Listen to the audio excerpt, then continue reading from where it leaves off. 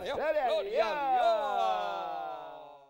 Vámonos a la lectura de nuestra primera enseñanza, Mateo capítulo 18. Hoy comenzaremos nuestra lectura desde el versículo 15.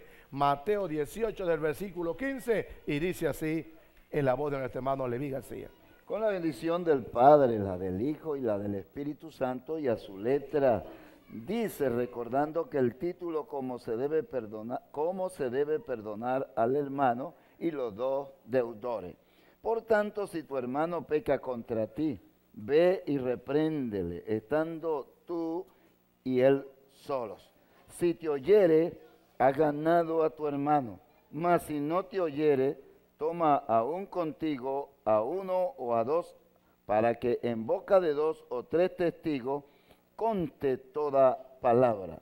Si no lo oyere a ellos, dilo a la iglesia, y si no oyere a la iglesia, tenle por gentil y publicano. De cierto os digo que todo lo que atéis en la tierra será atado en el cielo, y todo lo que desatéis en la tierra será desatado en el cielo. Otra vez os digo que si dos de vosotros se, pusiese, se pusieren de acuerdo en la tierra acerca de cualquier cosa que pidieren, les será hecho por mi Padre que está en los cielos.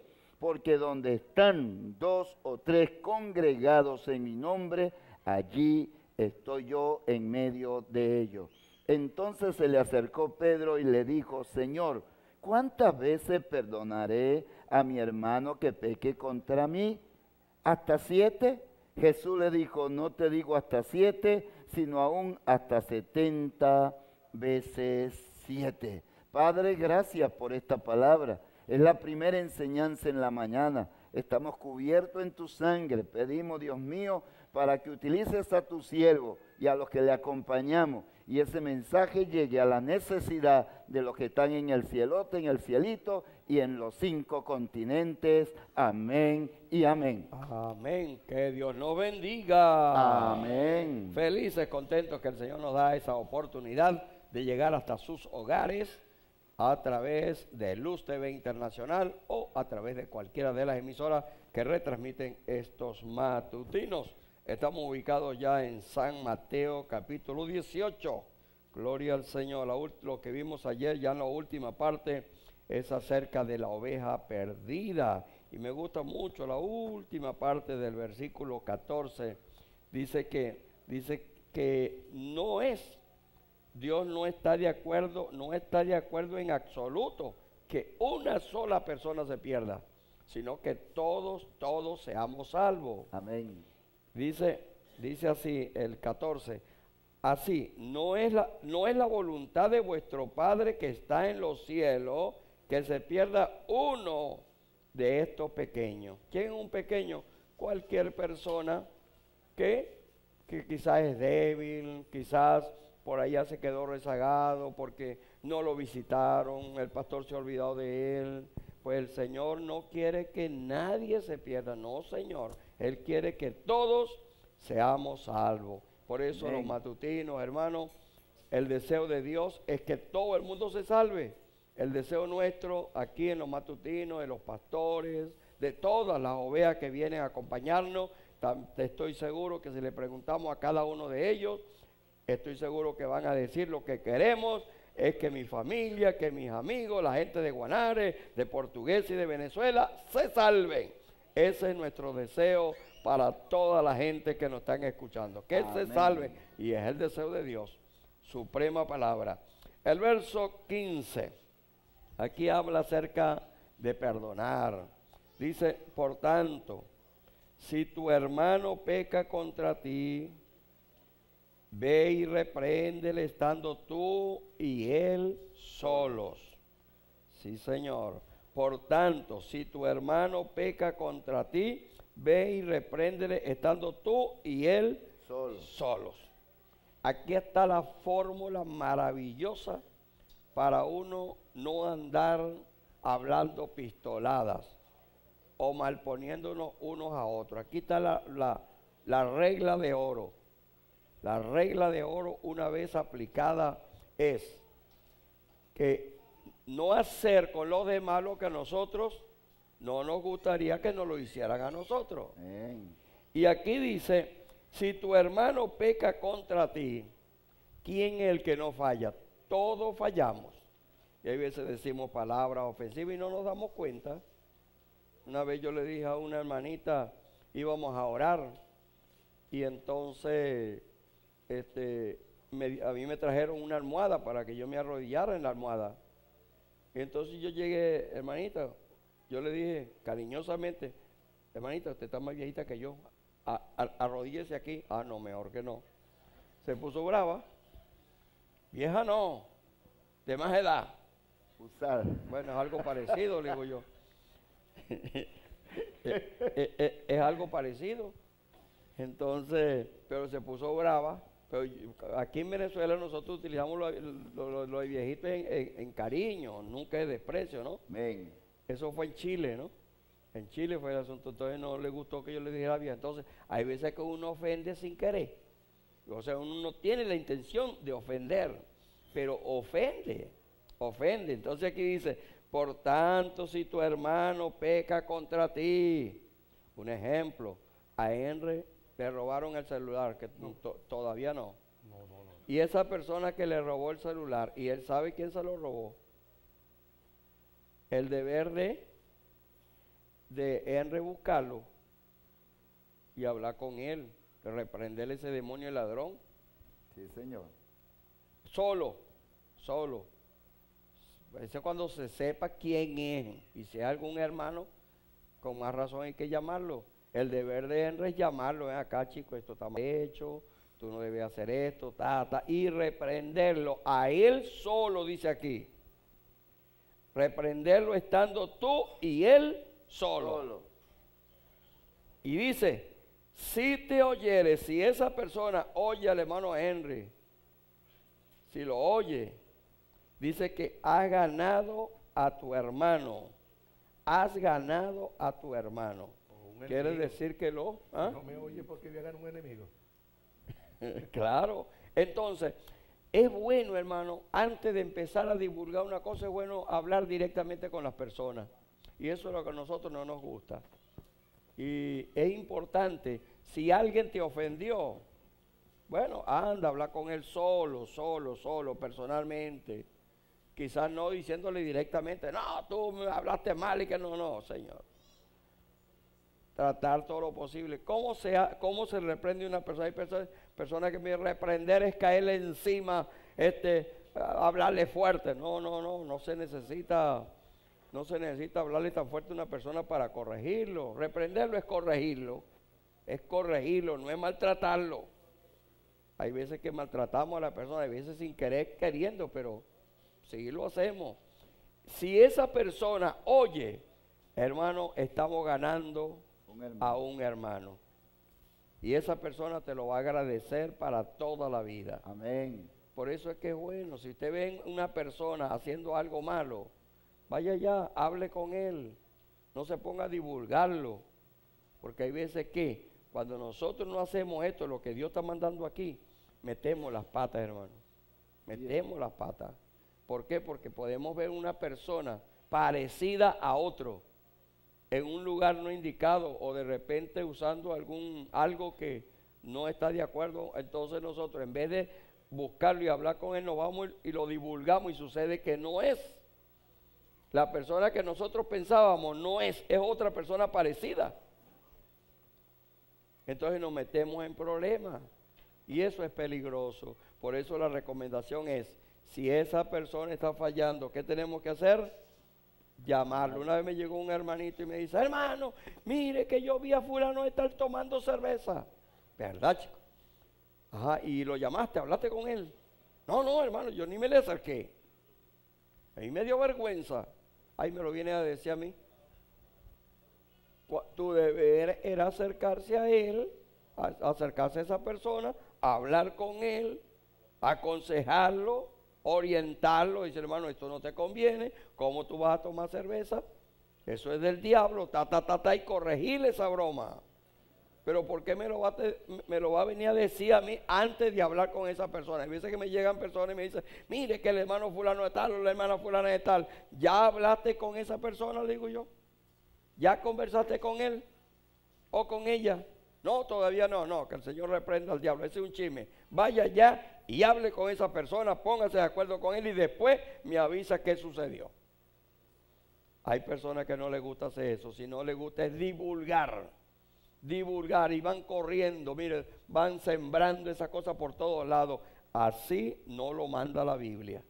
Así no lo manda la Biblia. La Biblia manda que si nosotros vemos una persona, alguien está faltando, lo mejor es llamarlo a él solo y corregirlo y así estamos ganándonos una oveja para el Señor. Amén. Amén. El verso 16 dice, más, si no te oyeres, voy a esto, esta es la fórmula especial para corregir las cosas, no solamente entre nosotros, sino en la iglesia también. Mas si no te oyere, Usted lo llamó y habló con él. No, usted está loco, que no sé qué. Y le forma un zaperoco, déjelo tranquilo. Ya usted trató de hablar con él. Si, mas si no te oyere, toma aún contigo a uno o dos. Se dejó tranquilo. Ok, está bien, está bien, está bien. Se va y busca a uno o dos testigos. ¿Y qué hace? Dice, para que en boca de dos o tres testigos conste toda palabra. Ya se lo dijo solo, ¿verdad? Después lo llama delante de uno o dos. ¿Por qué? Porque esa persona no va a decir, no, que es lo que me dio fue esto y esto. No, hubieron dos testigos que la persona te llamó y te dijo esto y esto y esto y tú no aceptaste. Ahora vamos a ver el 17. Dice, si no los oye a ellos, no oyó a uno, ni oyó con testigos. Dice, si no lo oyere a ellos, dilo a quién? A la iglesia. A la iglesia. A la iglesia. Primero uno, después con testigos y después la iglesia. Porque es un proceso, hermano, es un proceso. Es un proceso. Hay que, hay que ventilar las cosas para ver si son verdad. Porque hay gente que les gusta malponer a los demás, hermano.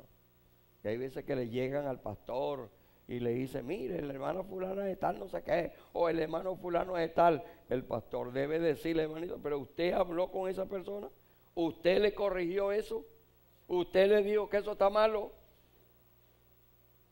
¿Por qué? Porque sucede que si usted se pone a juzgar ese caso así, usted va a quedar mal porque de repente sea un chisme, de repente sea una mentira que le están diciendo, entonces el pastor queda como un apoyador y un recogedor de chismes. Por eso es, cuando hay algo entre nosotros, vamos a arreglarlo entre nosotros. Si hay algo que hay que llevarlo a la iglesia, bueno, eso depende. Si se llegó, se hizo el proceso, entonces vamos a llevarlo a la iglesia. ¿Qué hace el pastor? Aquí dice, y si no oyere a la iglesia, ¿qué pasa ahí? Tenle por gentil y publicano. Sencillamente, es un proceso. Lo llamó una vez, lo llamó otra vez delante de testigos, se, se llevó a la iglesia en, en tercer lugar y luego el hombre no agarra mínimo por nada, no agarra mínimo. ¿Qué hay que hacer? Sencillamente hay que tenerlo como un amigo que llega a la iglesia, como una persona que solamente nos visita, pero no lo vamos a pasar aquí al púlpito, no lo vamos a pasar a predicar, ni lo vamos a recomendar para nada, no señor, porque esa persona es un rebelde. Si este proceso se hiciera en las iglesias, hermano, y lo aplicáramos nosotros mismos, ¿cómo nos evitaríamos tantos malos ratos, tantos malos entendidos? Es una fórmula especial que el Señor nos dejó. Tiene algo contra una persona, tiene algo, alguien le hizo algo malo, haga este proceso.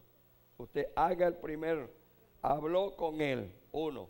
después lo llamó delante del testigo, después entonces llama al pastor y le dice, hermanito, mire, yo lo llamé solo, lo llamé delante de fulano y de sutano, que vengan acá.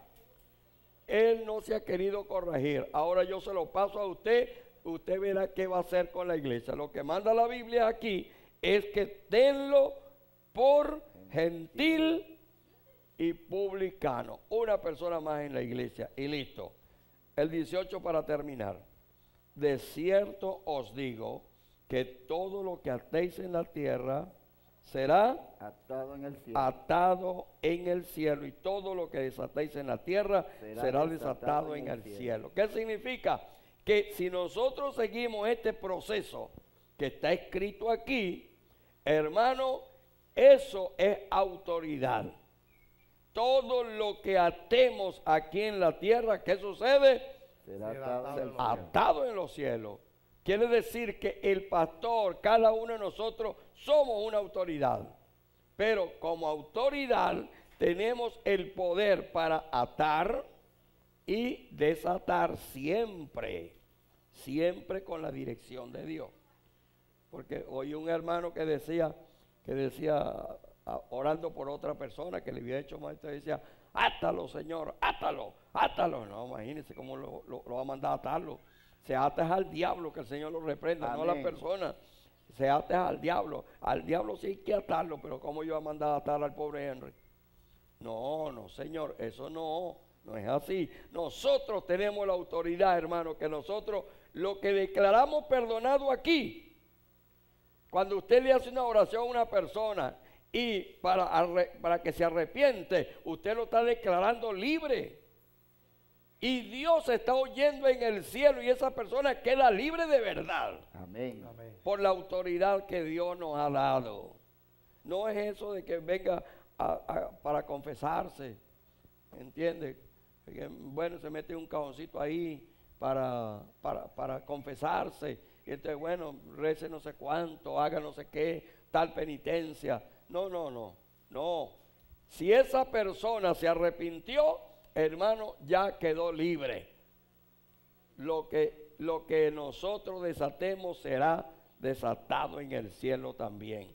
Es importante que entendamos la autoridad que tenemos para desatar a los enfermos que están atados por el diablo. Que el Señor los reprenda tenemos la autoridad para desatar a los cautivos por Satanás en la brujería, en la hechicería, en el espiritismo. Nosotros tenemos autoridad para desatar a los que están oprimidos por el diablo. Los que están endemoniados, tenemos la autoridad y por eso tenemos que utilizarla en el nombre del Señor Jesucristo. y todo lo que desatéis en la tierra será desatado en el desatado en el cielo. Recuerde, usted y yo tenemos la autoridad de Dios para atar y también desatar. Decía un viejito en Chile, me dice, a mí no me gusta, a mí no me gusta atar al diablo, no me gusta atar al diablo. Porque yo fui a hablar con el hermano, porque que cuando nosotros oramos y empezamos a atar al diablo, usted se sale de la, de la, de la cadeneta. Entonces me dice, no hermano, a mí yo no, yo no ato al diablo, a mí no me gusta atar eh, al diablo, no me gusta atarlo. Pero ¿por qué? Usted tiene que tener alguna razón. Y me dice, no, lo que pasa es una cosa, que en la iglesia, en, cuando estamos todos ahí, le caemos en callapa al diablo y lo atamos bien atado. Pero después el diablo me agarra aquí solo. ¿Y qué hago yo? Yo solo contra el diablo. Entonces, no, yo me lo dejo tranquilo, yo no me meto, yo no me meto con ese señor. Porque en la iglesia, claro, le caemos todo y él tiene que quedarse tranquilo. Pero después cuando yo llego a la casa, cuando vengo por camino, ¿quién me va a ayudar ahí? No, hermano, nosotros donde estemos tenemos la autoridad para reprender ese animal maluco, sin vergüenza, que el Señor lo reprenda. Que Dios me le bendiga, que Dios me le guarde. Eh, eh.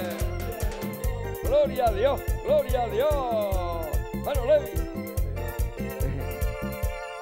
que Dios le bendiga y que Dios le guarde. Venimos en una gran bendición y cuando estamos solos, pastor, director, nuestro hermano Juan, es cuando empieza a operar el ejército de Jehová para nosotros. Así es que miles y miles de ángeles que están a nuestro favor, el poder del Padre y el, el Hijo y del Espíritu Santo. Bueno, vamos a, a continuar. La escritura dice, otra vez os digo que si dos de vosotros se pusieren de acuerdo en la tierra cerca de, lo, de cualquier cosa que pidieren, les será hecho por mi Padre que está en los cielos. Porque donde están dos o tres congregados en mi nombre, allí estoy yo en medio de ellos. Una de las cosas que nosotros podemos ya ver en estos textos es que aquí hay una promesa y esta promesa no la promete cualquiera.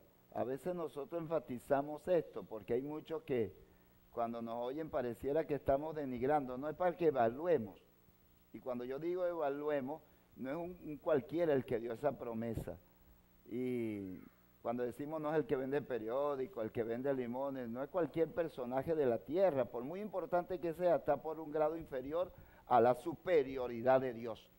Entonces, esta promesa la prometió nada menos el que siempre cumple. Por eso es que la escritura dice en número 23, 19 que Él no es hombre para mentir, ni hijo de hombre para que se arrepienta. Hay promesas muchas veces que no se han cumplido en nosotros por la sencilla y llana razón de que nosotros no le estamos cumpliendo a Dios. Y no puede haber este, un resultado de beneficio a las promesas de Dios si nosotros no cumplimos con nuestras promesas, porque Dios ha prometido prosperarnos, bendecirnos espiritual y materialmente y capacitarnos en ese trabajo que Él está haciendo con nosotros, porque el que comenzó la obra en nosotros también la va a perfeccionar. Pero si nosotros no cumplimos, entonces no puede haber beneficio para los que no cumplen. Usted no va a un trabajo a cobrar si usted nunca ha trabajado, no va al banco a buscar un cheque si usted no tiene allá alguien que le ha dicho que le depositó. Eso quiere decir que nosotros tenemos que también cumplir. Ahora, el tema que nos está acá a nosotros este, envolviendo, que nos estamos tratando de desarrollarlo, tiene que ver con el perdón.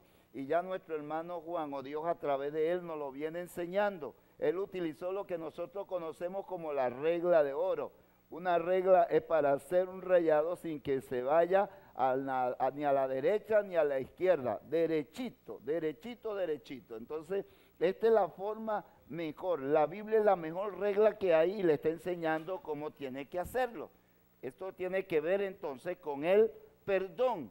Y Dios ha prometido cosas grandes para nosotros, pero nosotros también tenemos que cumplir. Y una de las cosas que Dios quiere que nosotros cumplamos es que nosotros perdonemos como Jesucristo perdonó. Así como muchos de los versículos que vienen, de los que vienen después de mi persona, lo van a disertar y ahí se van a dar cuenta ustedes. Entonces, es decir, que si Dios nos perdona a nosotros, nosotros también tenemos que perdonar. Y si nosotros no perdonamos, Dios entonces a nosotros no nos va a perdonar, porque somos nosotros mismos los que estamos incumpliendo. Y Él dice, otra vez os digo, cuando dice otra vez os digo, pienso y lo digo, no quiero cometer una herejía acá en esta mañana, pero pienso y digo que es importante. Y las cosas importantes se repiten. Hoy el hermano Juan dijo, y no era una casualidad el tema que se está hablando, lo estoy repitiendo varias veces, bajo testigo de que vienen unos judíos, hermanos mayores, a una conferencia mañana a las 10 acá en la radio, y entonces ustedes tienen que venir porque vamos a conocer por qué Dios ha bendecido tanto a Israel. Él lo repitió, pero ¿por qué lo repitió? Porque es importante. Y porque el Señor dice otra vez os digo, porque es importante que los que están en el cielote, los que están acá en el cielito, los que nos están viendo por los cinco continentes, sepan que el amor misericordioso de Dios tiene que estar en nosotros para nosotros perdonar también. Entonces el perdón es importante, por eso es que Dios lo repite, Dios lo repite. No hay un hombre justo sobre la tierra que haga el bien y que nunca peque. Nosotros venimos de una naturaleza caída y tenemos tendencia a acostumbrarnos a esas cosas del pasado, a esas cosas que vienen de ese hombre natural, de ese hombre, de esa naturaleza caída del primer Adán. Pero damos gracias a Dios que el que lo está repitiendo aquí, que está diciendo otra vez, os digo, es el segundo Adán que nos restaura y nos está enseñando a que dejemos esas costumbres del pasado, del hombre viejo, para que comencemos a caminar con las que están en el hombre nuevo, que sí se adaptan al hombre nuevo. Bendito sea el nombre de nuestro Señor Jesucristo. En el tiempo pasado habían carretas, pero usted no puede traer hoy, y, no sé si es tosca la analogía, pero la quiero compartir. Usted no puede agarrar una rueda de la carreta de hoy, oiga, de ayer, y montársela a, un carro de hoy porque no le va a servir. Sirvió en el pasado, pero hoy en el presente no sirve. Usted no va a agarrar dos caballos para ponerlos en el motor para que arranque. Tienen caballo ahora de fuerza y nosotros lo sabemos. Entonces, hoy en el hombre nuevo, nosotros vamos restaurados. Y Dios quiere que nosotros, en este hombre nuevo, en este hombre restaurado, no haya rencor, no haya odio, no haya ninguna raíz de amargura que me impida entrar por la puerta estrecha. Por eso es que la puerta estrecha, es la puerta. Porque Él dice, yo soy la puerta, fíjese, es la puerta, no todo el lugar. Es muy importante que lo entendamos. Él dice, yo soy la puerta y el que por mí entrare será salvo y saldrá. ¿A dónde va a salir? A una expansión y saldrá y hallará qué? Pasto Quiere decir que en la puerta es que no pueden entrar esas cosas. El que quiere el beneficio del pacto, el que quiere el beneficio de Dios, de esas promesas, tiene que dejar entonces la carga del odio y del rencor atrás en el hombre viejo y empiece a caminar con el hombre nuevo. No, que me violó.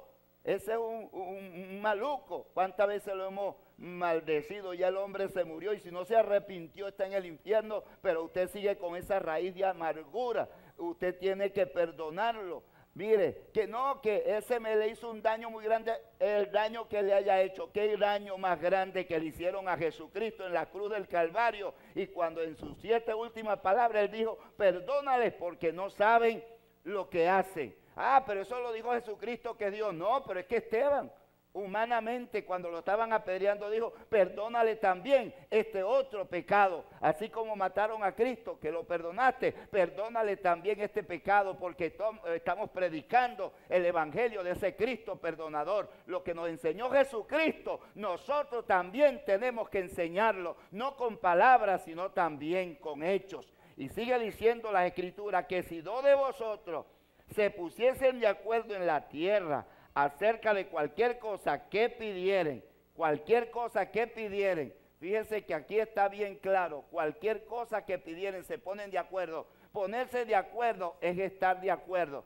Imaginémonos que hoy estamos sacando a una persona, rescatando a una persona pero uno la agarra por los pies y el otro por la mano. El de los pies quiere alar hacia allá y el de las manos hacia acá. Entonces, ¿qué es lo que vamos a hacer? En vez de rescatarlo, lo que lo vamos a terminar es de matar, lo vamos a reventar, lo vamos a partir por la mitad. Pero si los dos se ponen de acuerdo, o sea, atrás o hacia adelante, que debe ser hacia adelante o hacia donde esté la salida, entonces vamos a rescatar. Y eso es lo que Dios quiere, que nos pongamos de acuerdo en las iglesias, que nos pongamos de acuerdo en los hogares, que nos pongamos de acuerdo en el trabajo, que nos pongamos de acuerdo en las universidades. Y cuando nos ponemos de acuerdo para las cosas buenas, vamos a tener beneficio y vamos a tener visión divina y apoyo del Dios vivo, porque separado de Dios nada podemos hacer. Y no podemos impedir y no podemos olvidar ni omitir que hay muchos enfermos por causa de odio y por causa de rencor. Bendito sea el nombre de nuestro Señor Jesucristo. Y sigue diciéndole, será hecho por mi Padre que está en los cielos. Una promesa que está, la está dando quién? La está dando eh, Dios Hijo y está diciendo que le será hecho por quién? Por su Padre que está donde? Que está en los cielos. Esto quiere decir que nuestro Padre está en los cielos. Y aquí, en esta tierra, está representado en quién? Hoy, en la presencia del Espíritu Santo, que es Padre, Hijo y Espíritu Santo, porque nos consuela y nos ayuda. Y es lamentable para muchos que sepa que hay áreas de su vida que no han sido compactadas, ni todavía han sido alivianadas, ni han sido amansadas por el Espíritu Santo, porque hay raíces de amargura y de odio donde Dios no ha podido llegar. Y si Dios no ha podido llegar, ¿cómo podrá llegar otro? Por eso es que escuchamos a muchos decir, no, Para mí, Dios es Dios y con Dios yo estoy bien. Y, lo demás para mí es, para mí lo demás, yo no le voy a, parar a eso, porque si yo no le voy a hacer caso, ese es un hombre como yo, ese es un pastor. Así que, así que yo ni a mi papá le hago yo caso, no le hago caso a un pastor que me está hablando de esto. Bueno, hágale caso es a Dios, porque es Dios el que se lo está hablando. Y si usted se pone de acuerdo, esas enfermedades se van a ir. Si usted se pone de acuerdo, ese hogar va a mejorar. Si usted se pone de acuerdo, tu empresa va a mejorar. Si tú te pones de acuerdo, van a haber mejores notas en la universidad. Si tú te pones de acuerdo, te graduarás y saldrás con una gran bendición, con un título secularmente. ¿Pero por qué? Porque Dios está con los que están de acuerdo. ¿Acuerdo a hacer el mal? No, acuerdo a hacer el bien, porque perdonarse es hacer el bien. Y esto no tiene que ser uno solo, tienen que ser los dos, pero ya sabemos cómo tiene que hacerse y ya nos lo explicó el pastor, nuestro director, el hermano Juan 20, porque donde están dos o tres congregados en mi nombre, allí estoy yo en medio de ellos. Hoy está Cristo aquí.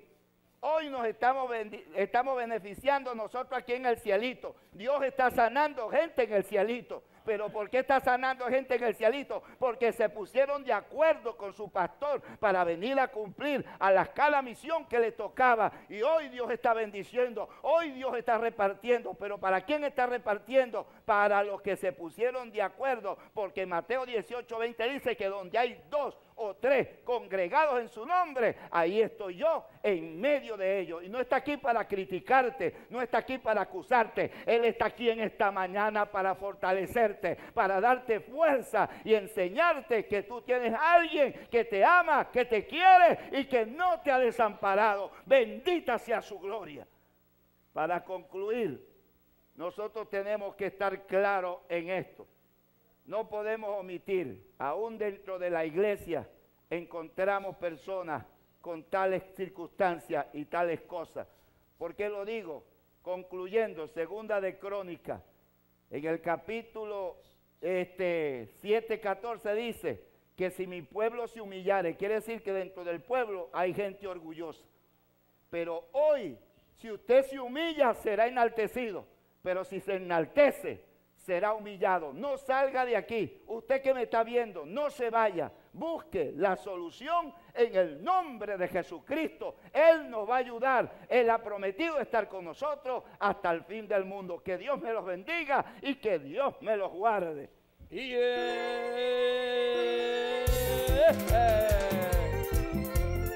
Gloria a Dios.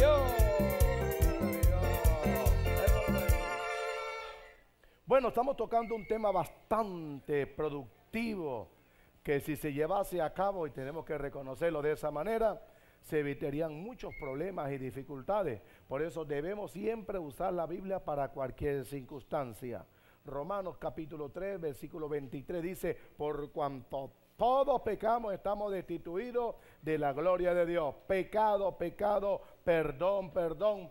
La Biblia aparece la primera vez hablando de perdón cuando Abraham intercedió por Sodoma y se habló la primera vez la palabra perdón. Significa absorber de culpa a una persona. Jesús ya conocemos nosotros que es el único capaz de perdonar a cada uno de nosotros. Pero Jesús quiere solucionar las fricciones y las luchas que él sabía que se iban a enfrentar los hermanos. Y él está dando los pasos a seguir para evitarnos a nosotros muchos problemas posteriores. De tal manera que cuando lo ponemos en práctica, entonces adquirimos autoridad. Por eso a veces cuando leemos el, versículo eh, Mateo 18, 18, lo entresacamos y a veces no vamos a los contextos que habla la palabra, porque usted no puede atar si usted, si usted tiene problemas con su hermano. Todo lo que es comunión, todo lo que es el Salmo 133, cuando estamos unidos unos con otros, la iglesia como tal recibe autoridad. Por lo tanto, no hable mucho de la iglesia, porque recuerde que la iglesia es la novia de Cristo. Y ese sí es un problema,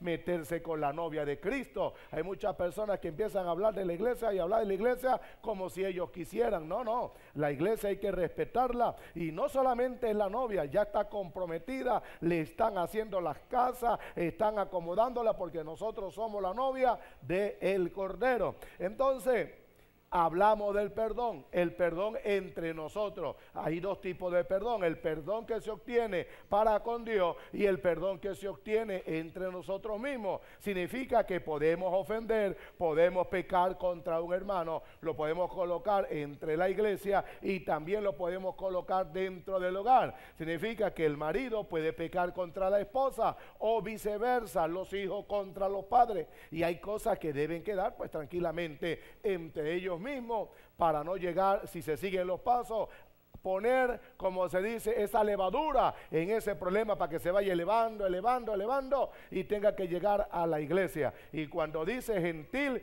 que lo tengan por gentil, no es que es muy educado, ay, es que gentil es no. Gentil en el término bíblico eran gente que estaban apartados de la gracia de Dios. Bendito sea el Señor. Ahora viene el problema. Siempre Pedro, Dios bendiga la memoria de Pedro. Pedro cuando yo le enseñé enseñanza, dijo, voy a hablar con mi Cristo. Qué bueno es cuando termina una enseñanza y un discípulo, uno deja, se, se acerca a uno, pastor, mire, la enseñanza estuvo buena, pastor, me gustó esta, pastor, usted me puede aclarar un, un puntico más. No, hay gente que termina el culto, es como el muchacho cuando le dan el timbre de recreo, sonó el timbre, todo mundo para recreo. No canta ni el himno nacional, no le importa nada, no se despiden de nadie. Eso es negativo. Terminó el culto, aproveche, da la mano a tu hermano, da la mano, hermano, ¿cómo está? Me llamo Ramón, es mi segundo nombre, estoy casado, como eh, hermano, yo trabajo, yo trabajo en esto. Conocerse, porque somos una gran familia para la honra y la gloria del Señor.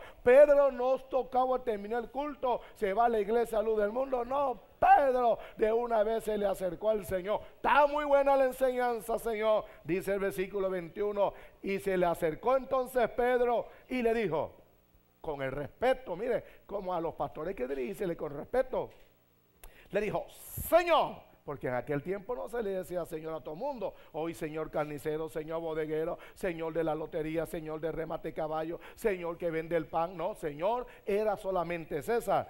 Pedro le dice, Señor, ahora está bien, lo voy a perdonar. Ahora, ¿cuántas veces lo voy a perdonar, Señor? ¿Cuántas veces perdonaré al hermano que pique contra mí? Yo lo voy a perdonar.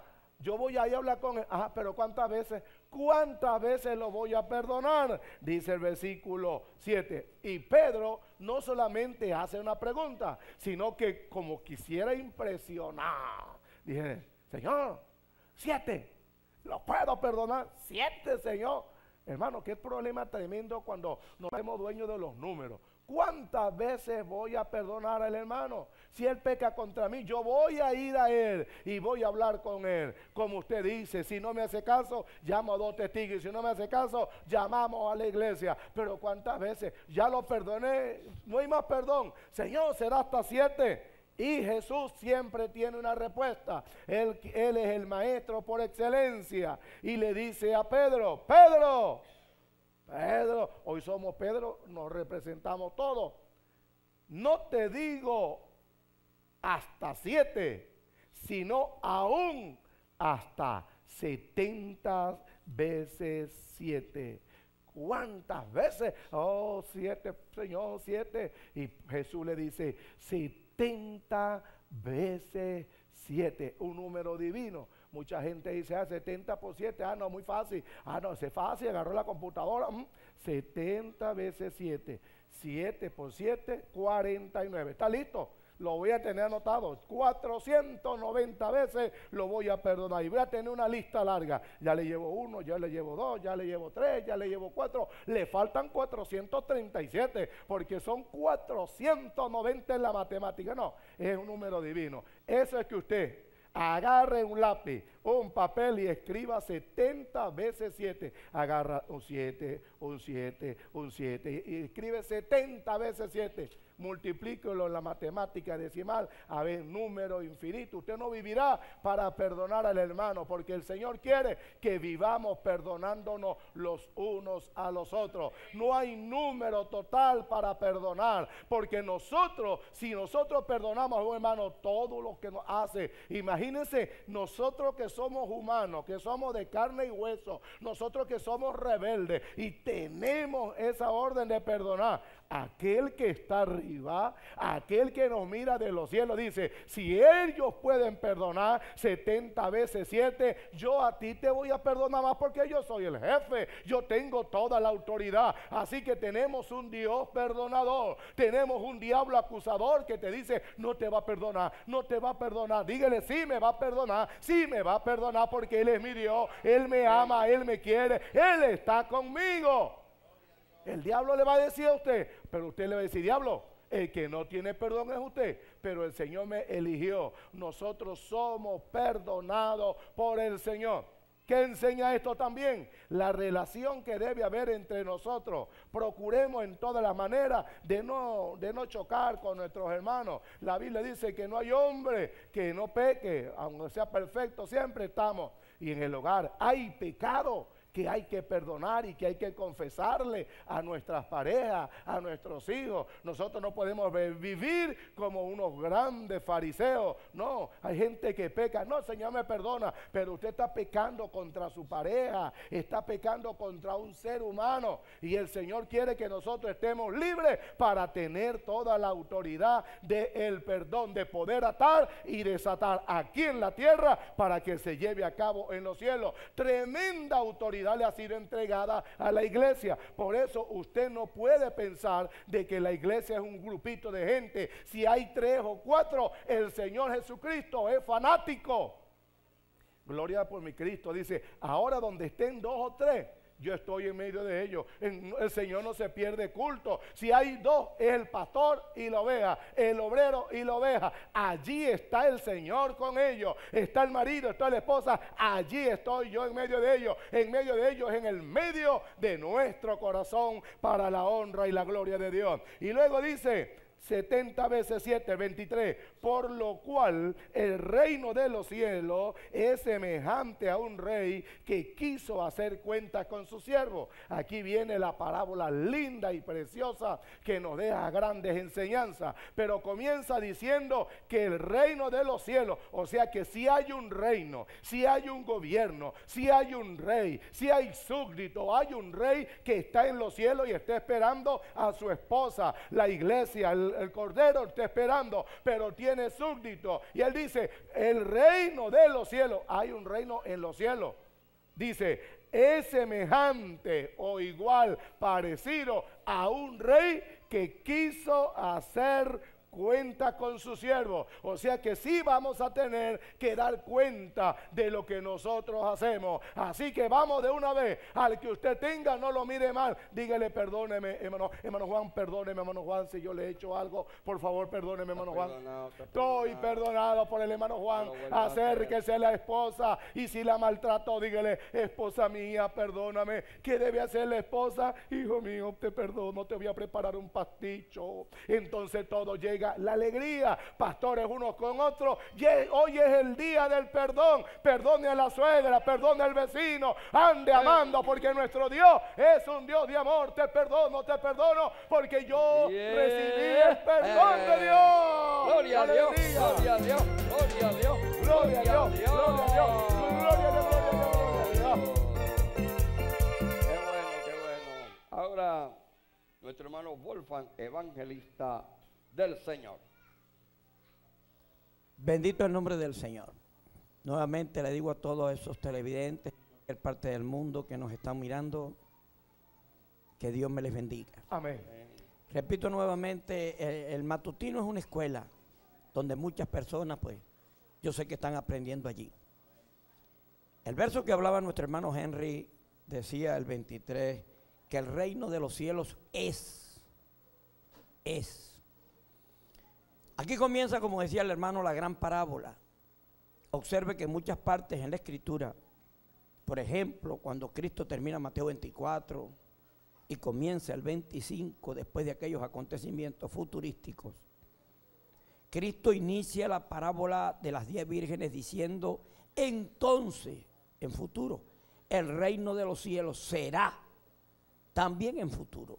Pero aquí dice que el reino de los cielos es y está en presente. Y es una problemática que está ocurriendo hoy día. Aunque el comienzo de este pasaje dice los dos deudores, verdaderamente se está refiriendo es a un perdón. Y en los dos versos que me toca, que dice, y comenzando a hacer cuentas, le fue presentado uno que le debía diez mil talentos. A este como no pudo pagar, ordenó su señor venderle y a su mujer e hijos y todo lo que tenía para que se le pagase la deuda.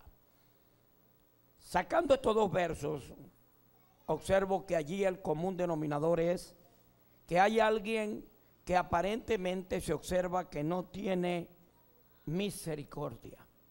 He dicho, y siempre cuando analizo el tema, tiene que haber un perdón. Para poder haber perdón tiene que haber una misericordia.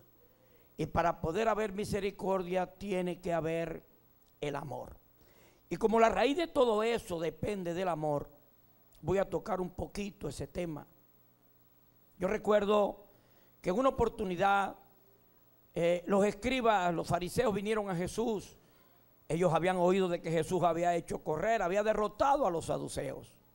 Y ellos buscando al que más sabía, a uno de los principales, a un intérprete de la ley, se le acercó a Jesús y le dijo, maestro, ¿cuál es el gran mandamiento en la ley? Jesús le dijo, el primer y gran mandamiento es, amarás al Señor tu Dios con todo tu corazón, con toda tu mente, con toda tu alma, con todo. Jesús le dijo, ese es el primer y gran mandamiento. Y el segundo y gran mandamiento es, amarás a tu prójimo como a ti mismo. Y Cristo le decía que toda la ley, todos los profetas, todo ese Antiguo Testamento está encerrado en esos dos grandes mandamientos.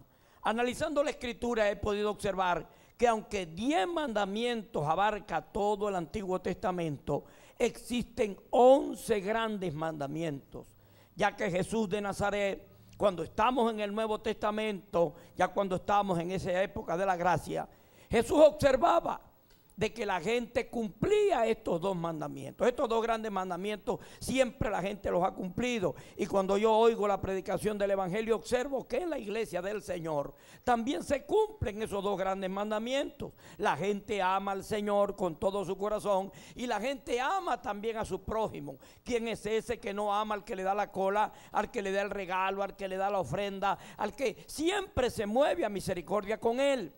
Siempre lo amamos y Cristo observaba eso. Y entonces Cristo dijo, un nuevo mandamiento les doy. Y es que os améis los unos a los otros. Siempre la gente dice eso. Pero le falta un pedacito al verso que la mayoría de la gente no toca. Y es que Cristo dijo que os améis los unos a los otros. Es como yo les he amado. Hay gente que tiene su plan de amor. Cada vez que toco esta enseñanza digo, ¿de qué manera estás amando tú? Simplemente amas a tu prójimo, simplemente amas al que te ayuda. Cuando aprendemos a amar al que nos odia, cuando aprendemos a amar a aquel que nos maldice, al que nos ultraja, al que nos persigue, en ese momento la misericordia nace en nuestra vida y el perdón viene a nosotros para perdonar a aquel, bendito el nombre del Señor, que nos ha ultrajado, que nos ha perseguido, que nos debe, que de repente quizás tiene como pagarnos, pero no quiere pagarnos.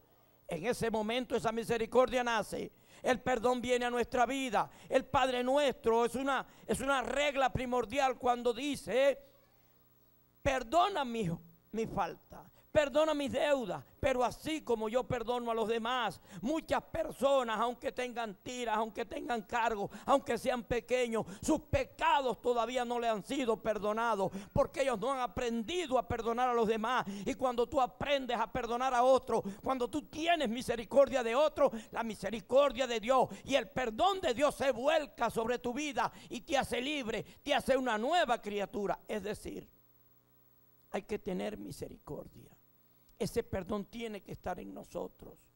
Que no, que no seamos ese tirano que, que no quiere perdonar, porque recuerda que la Biblia dice, en un texto que fue lema, por allá por los 80, juicio sin misericordia se hará con aquel que no tuviera misericordia, porque la misericordia triunfa sobre el juicio, que el amor de Dios, que ese amor maravilloso esté en tu vida para tener misericordia y para perdonar, no solamente al que te debe, también al que te ha faltado, al que te ha ofendido, y te garantizo que vas a ser libre. Y esa raíz de amargura de la cual hablaban mis hermanos no estará en tu vida, sino el amor de Dios para perdonar. Que el Cristo de la gloria te bendiga en esta mañana, que te guarde desde ahora y para siempre.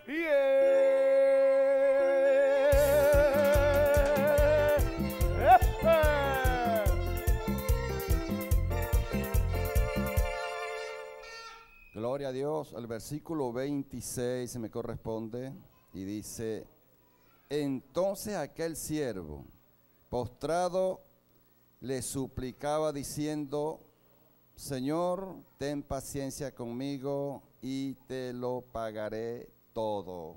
Amén. Es tremendo este tema acerca de la manera de perdonar. Y el Señor hoy está haciendo énfasis, está haciendo hincapié en este tema acerca del perdón. Porque Dios quiere que en nosotros haya perdón. Dios quiere que nosotros aprendamos a perdonar. Y está poniendo, por ejemplo, ¿no? Está hablando acerca de dos deudores que tenían problemas aquí con deudas. Y en este versículo que me correspondió a mí, que es el 26, este siervo para, para encontrar el perdón, él utiliza dos fórmulas muy maravillosas, porque dice que este siervo cuando oyó la noticia de que iba a ser vendido por la deuda que debía de 10 mil talentos, algo imposible de pagar, y cuando el rey ordena venderle a él su esposa, sus hijos y todo lo que tenía, él ocurre aquí a dos fórmulas importantísimas, y es que el siervo se humilla se postró, se humilló y a la súplica también. Una oración maravillosa. Señor, ten paciencia conmigo y yo te lo pagaré. Y es que para encontrar perdón hay que humillarse. Hay personas que buscan perdón, pero llegan altivos. Bueno, tú tienes que perdonarme porque, bueno, yo soy esto y yo soy aquello. No, no. Para encontrar perdón hay que humillarse. Usted tiene que humillarse y suplicar que le perdonen y de esa manera usted va a ser perdonado. Yo sé que esta mañana cantidad de gente nos está oyendo y nos está viendo que necesitan perdón. El salmista David habló de la dicha del perdón y dijo que un corazón contrito y humillado no desprecie el Señor. Así que usted amigo, amiga, hermano, humíllese, suplique para que Dios le perdone, que Dios le bendiga. Amén.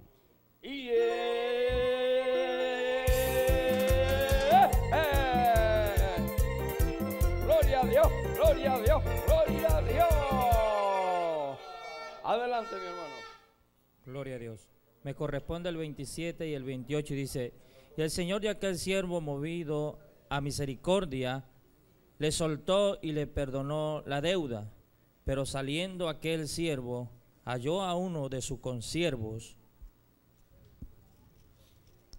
halló a uno de sus consiervos que le debía cien denarios y saliendo de él le hogaba, diciendo, págame lo que me debes. Amén. Estamos hablando en esta mañana a, través de esta televisora y de la radio eh, acerca del perdón, del perdón y estamos hablando de este pasaje de la Biblia que nos habla de dos deudores. Amén. Aquí en el versículo que me corresponde, el 27, el Señor de aquel siervo decide perdonarle. Al ver que se humilla, decide perdonarle la deuda, ¿verdad? Así es el Señor con nosotros. El Señor al ver nuestra humillación, a ver cuando nosotros nos humillamos, Él perdona. La palabra del Señor dice que el Señor agarra nuestros pecados y lo tira a lo profundo de la mar, para no acordarse jamás. Este siervo fue perdonado. El Señor le perdonó su deuda pero dice el, 20, el 28 que al salir, al salir él de allá, dice que se, consiguió con uno de sus consiervos que le debía una cantidad muy poquita a lo que él debía. Y dice que le ahogaba, le presionaba a que debía de pagarle. Hoy el Señor quiere que así como Él nos perdonó a nosotros, así como el Señor está dispuesto a perdonarte a ti, hoy quiere el Señor que tú también y que nosotros perdonemos a nuestros deudores, a los que nos faltan. Porque como hablaba el pastor, es necesario que nosotros pues eh, nos humillemos, es necesario que nosotros demostremos el amor, el cual hablamos. El amor no solamente se habla, se demuestra cuando nosotros perdonamos a quienes nos ofenden, a quienes nos faltan, vamos a perdonarle en el nombre del Señor. Que Dios me les bendiga y que Dios me les guarde.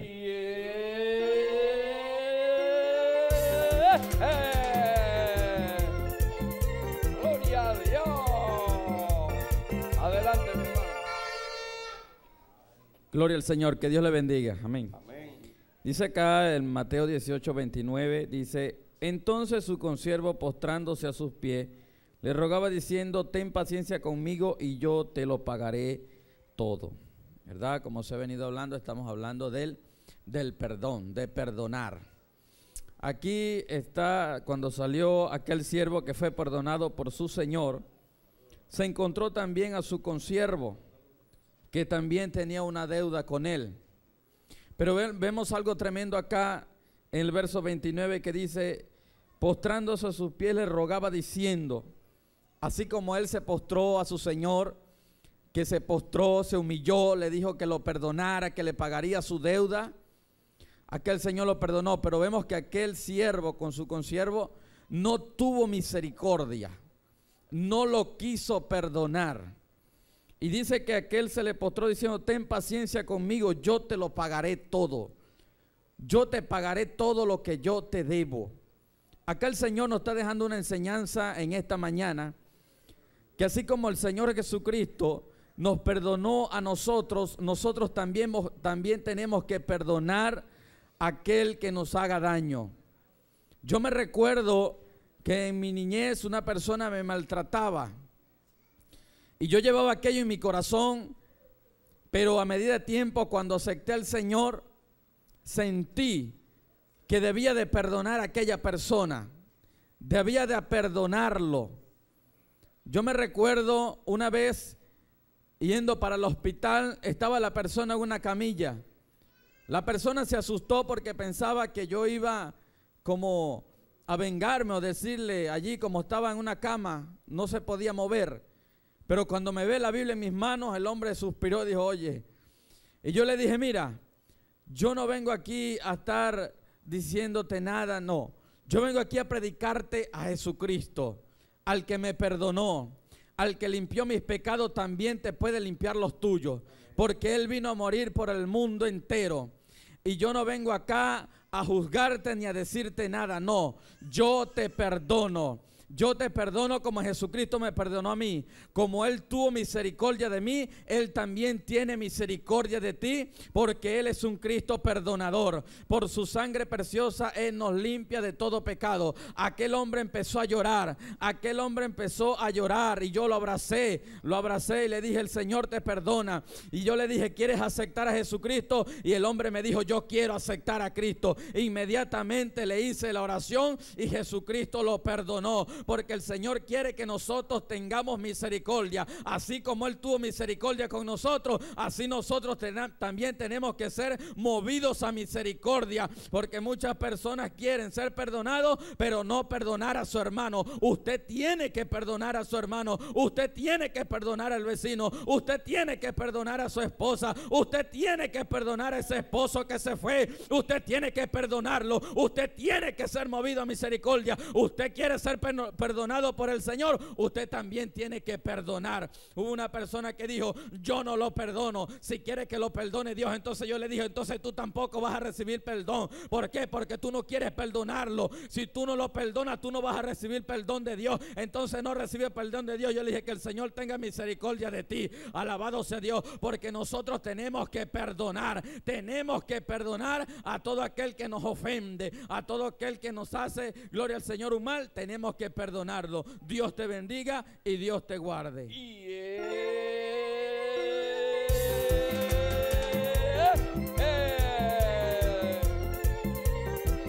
Gloria, a Dios. Gloria al Señor, estamos en Mateo capítulo 18, me toca el 30 y el 31. Dice así, mas él no quiso, sino se fue y le echó en la cárcel hasta que pagase la deuda.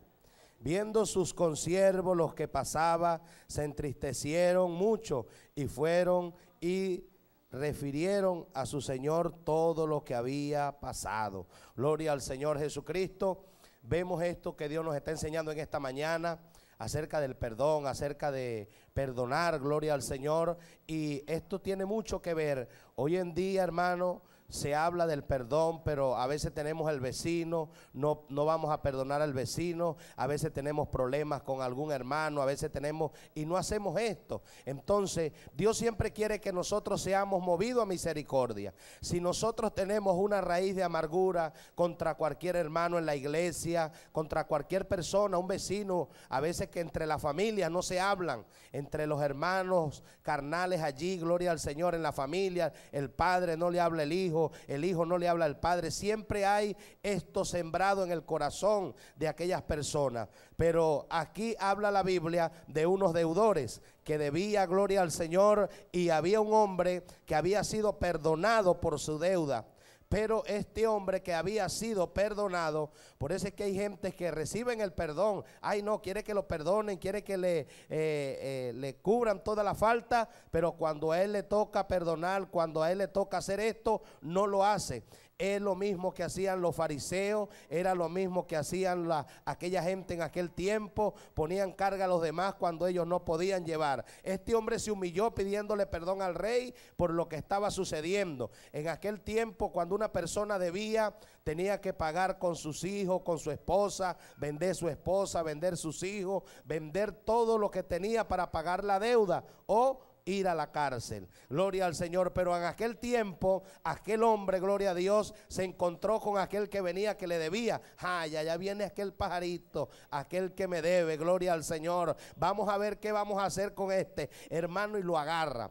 Gloria al Señor. Me acuerdo nuestro hermano Henry allá en Valera hizo esta ilustración y la gente le gustó mucho. Gloria al Señor lo que estaba haciendo. ¿Por qué? Porque hay gente que agarran a otro. Usted me paga lo que me debe y lo agarra y lo forza. Gloria al Señor Jesucristo. De esa forma no se hace. Gloria a Dios. Una vez me dijo un hombre, la mejor manera de cobrar es no ponerse bravo. Hay gente que se ponen bravo, gloria al Señor, cuando les van a cobrar. Hay gente que se molestan, gloria a Dios. Este todos los días viene a cobrarme, gloria al Señor. Si usted no le gusta que le cobren, bueno, no saque fiado, no quite prestado, gloria al Señor. Y nadie le va a estar molestando irle a cobrar. Hay gente que usted, mire, usted me debe una yaquita, la que hicimos, y le van a cobrar la yaquita, le van a cobrar el quesillo, le van a cobrar y se ponen molestos. Pero déjeme quieto, que es que usted no me... Pero ¿para qué saco fiado? Entonces, gloria al Señor. Aguante entonces, si usted debe, cuando le vengan a cobrar, no se moleste, no se ponga bravo. Hermanito, todavía no tengo los reales, pero ten misericordia, ya que unos días que empiece a trabajar, se le paga lo que se le debe. Gloria al Señor, pero no se moleste. Aquel hermano hombre se llenó de misericordia y dijo, ten misericordia de mí, yo te voy a pagar eso. No te, no, no te acepto eso. Hermano, y lo lanza a la cárcel. Los siervos que estaban allí mirando este quedaron asombrados. Ahorita acabo de ver algo el rey le perdonó la deuda y este hombre no quiere hacer lo mismo. Gloria al Señor. Y es lo que Jesucristo quiere que nosotros como siervos hagamos cada uno. Que si Él nos ha perdonado, nosotros también perdonamos. Gloria a Dios. Si Él nos ha redimido, que nosotros también vayamos por esas almas que están perdidas a traerlas a Jesucristo. Si el Señor ha mostrado compasión con nosotros, nosotros también tengamos compasión de la humanidad, de las ovejas. Es lo que Dios busca dándonos esta enseñanza de que nosotros seamos movidos a misericordia, de que todas esas cosas, gloria a Dios, que están escritas aquí, es para nuestro diario vivir, es para que nosotros aprendamos que tenemos que tener misericordia, de que nosotros tenemos que aprender lo que significa la misericordia, el perdón entre hermanos, el perdón entre compañeros, el perdón si todos cometemos una falta, nos perdonáramos, ¿qué sería de este mundo? ¿Qué sería de esta vida si hubiera perdón entre nosotros? Que Dios les bendiga y que Dios les guarde. Eh, eh, eh. Gloria a Dios.